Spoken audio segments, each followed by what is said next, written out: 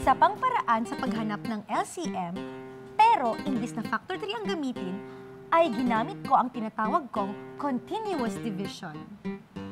Continuous division? Sa continuous division, i-divide mo lang ang dalawang numbers ng paulit-ulit hanggang sa hindi na sila pwedeng ma-divide gamit ang magkaparehong number o common factor. Tulad nitong 12 at 30. I-divide natin sa 2, 6 at 15. Pwede pang i-divide. I-divide natin sa 3, 2 at 5. Tapos, ang mga numbers na pinang-divide at ang mga numbers sa ibaba o ang numbers sa L ay ating imumultiply. Madaling tandaan ng L dahil sa LCM. 2 times 3 times 2 times 5 is 60. Katulad din na nakuha na din sa prime factorization, di ba? Eh, bakit po gumagana ang continuous division sa paghahanap ng least common multiple? Subukan nga nating hanapin ang LCM ng 12 at 36 gamit ang continuous division. Ang una nating ipang-divide ay 6. 12 divided by 6 is 2.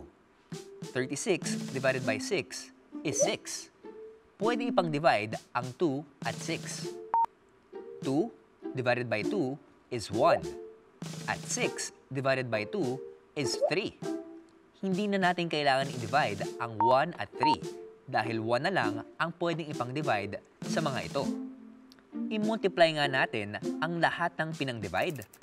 6 at 2 at ang numbers sa ibaba. 1 at 3 o ang mga numbers sa L. 6 times 2 times 1 times 3 is 36. 36 ang LCM ng 12 at 36 i-check nga natin gamit ang listing method. Ang multiples ng 12 ay 12, 24, 36. Tama, 36. Bakit di na lang natin multiply yung dalawang number na hinahanapan ng LCM? Eh sigurado naman pong common multiple nila yung resulta, di po ba? Ba't di nga natin i-multiply na lang ang 4 at 6? 4 times 6 is 24.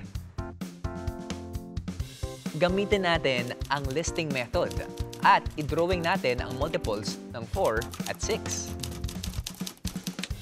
Common multiple nga ng 4 at 6 ang 24.